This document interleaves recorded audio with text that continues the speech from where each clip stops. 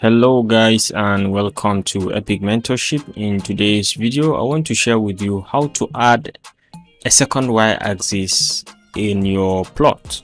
Okay so assuming we have a given data we have our x-axis uh, located over here on column b and we have our y y1 axis located in column c. And we can plot these two together. Let's say we want to have a simple line graph okay so we'll select them we highlight them.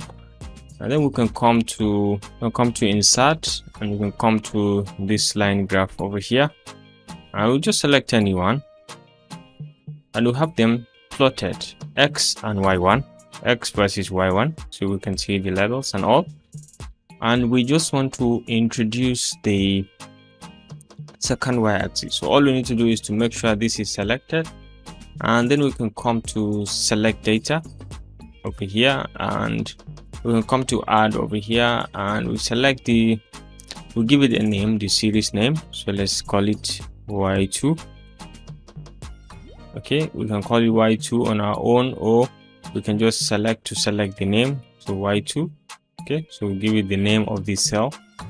And we'll say okay. And we can give the range series values okay so we can give these values over here from this to this.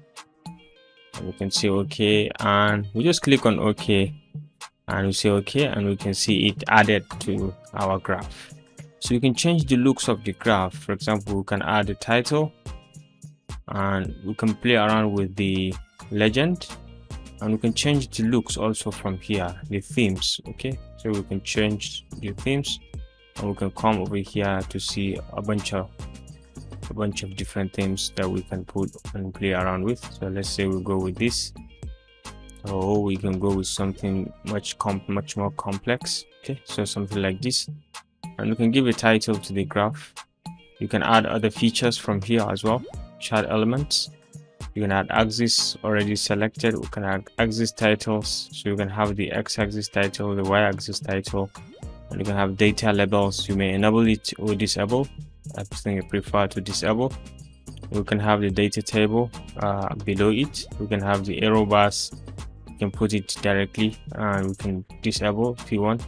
You have the legend already selected. We can put the trend line okay on X or Y axis as the case may be and we can have the up and down bars each one of them you can enable if you want so this is how to add the other chart elements and this is how to bring in the second y-axis in your graph. So ladies and gentlemen if you enjoy anything in this video or if you learned something from this video please feel free to uh, give it a thumbs up and don't forget to always hit the like and subscribe buttons to stay connected to this channel for more of our very very useful videos. I'll see you in my next video. Bye